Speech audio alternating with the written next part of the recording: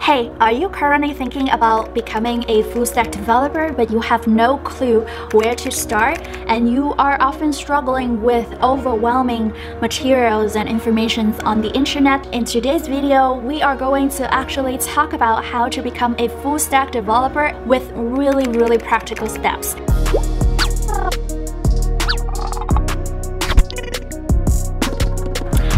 Everyone, welcome back to my channel. My name is Vicky. You can also call me Victoria. If you are interested in web development or if you try to get into coding or currently learning how to code, this might be the perfect channel for you. So the first thing that you might wonder is, is it possible to be a full stack developer? So I think that in coding, you can't really be an expert at everything. It's kind of like a T shape, which means that you would have a general understanding of the basics and then you go deeper into one or two particular thing, expanding your knowledge.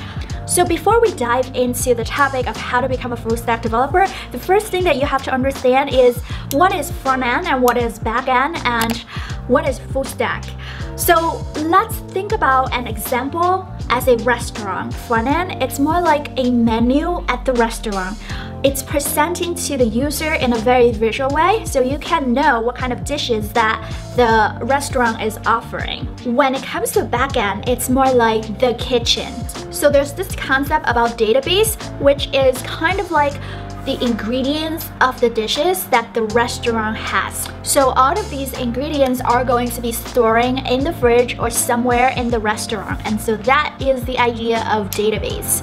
So once we understand that, now let's actually dive into how step by step that you can become a full stack developer. So in total, there's gonna be five steps that you have to follow and this should be in an order. So step number one is you need to understand the basics of front end. You don't have to be an expert, but you definitely need to know HTML, CSS, and JavaScript and plus a front-end framework, for instance, like React or Vue or Angular. Here is a video that I created that actually help you to become a front-end developer and I dive a lot deeper into the actual practical steps of how you can achieve that. So make sure that you check out that video if you are currently at step number one. Step number two is now you have to move to the backend.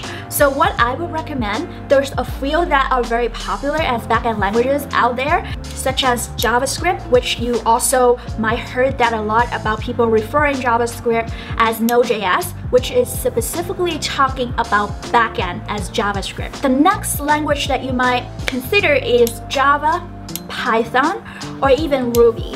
Now, Ruby is less popular, but it's definitely very easy to learn. If you're thinking about just grabbing a backend language for you to learn to become a more rounded full stack developer, learning either Ruby or Python is a great start. Now, if you're confusing about whether or not you should be learning Java or Python and what are the pros and cons about that, go ahead and check out another video over here that I created that comparing Java with Python or even Python with JavaScript if you're interested in that.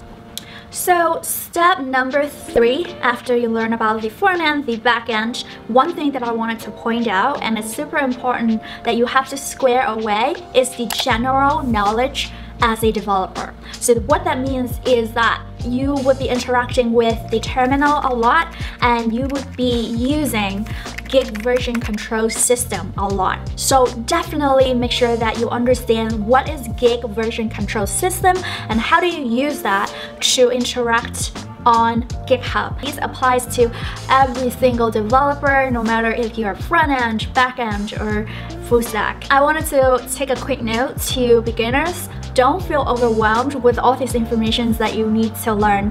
It's all about consistency and it's all about learning little by little every day. Okay, so now you probably know front end and you learned back end. So the fourth step is to actually learn about database. So now, remember that restaurant examples that I talked about in the beginning of the video? The next thing that you would need to learn is how do people organizing all these ingredients in the kitchen of a restaurant? The database, there's two types of database that exist or people often talked about when they talk about web development. Either is SQL, which is a structured query language, or NoSQL, which is a not structured query language. Eventually, you're going to learn either SQL or NoSQL. You're gonna work with both of them in your career. But when you're just currently learning, the first step that you need to know is just pick one. And what I would recommend is actually learning SQL. If you are thinking about becoming a backend developer or even a full stack developer, learning SQL can really help you to broaden out your opportunities as a backend developer. Let's go back to the restaurant example.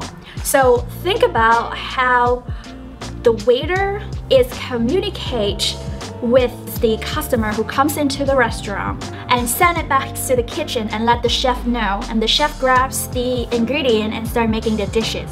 Waiter or waitresses is back and forth communicating between these two parties when people are referring to, oh, I'm working with the API, is really referring to the focusing working on the communications between the front end and the back end. You often hear the concept of REST API, and I also really want you to really understand the MVC model. So MVC model stands for Model View Controller and you really gotta understand the responsibility of these three different models. You might also heard the word GraphQL and GraphQL is a relatively new concept and it's a great alternative to supplement for REST API. But in my opinion, it's still really important to learn REST API to learn the basic concepts. Step number five is authentications. So when we talk about being a full stack web developer and when we're talking about full stack, it's oftentimes thinking about web securities and authentications. And when you're building a web application, you often have a username and a password and you're trying to log in before even using the applications. I would say that definitely learn about the general concepts about token authentication and also oftentimes people use JWT. Knowing some of these concepts and actually using them in your personal project can really, really help you to stand out and especially it's a really common thing nowadays that everybody has some sort of like login authentication that are on web.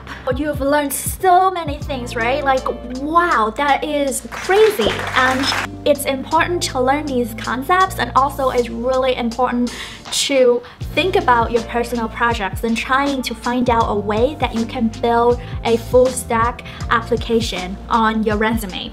In order to find a job as a developer, you need to have a lot of personal projects. On top of that, you also want to make sure that you're contributing to open source, you are giving back to the community. And the next thing probably that I want you to really think about and take this to the next level is then thinking about building for scalability, like the general topics that how to build products that's sustainable and the idea of if this product ever grows bigger and serving a lot of users, how do I optimizing the product to make it better, make it faster, make it sexier? First step that you would need to do is learning front end. And in order to learn front end, I would highly recommend to check out this video over here called How to Become a Web Developer in 2021. Some Udemy courses that I recommend over here that can guide you through some of the concepts that I talk about in this video and actually giving you some good suggestions and learning materials that you can learn about that. Follow my guide and you will soon become a full stack developer. I really hope this video is helpful. Happy learning. Peace.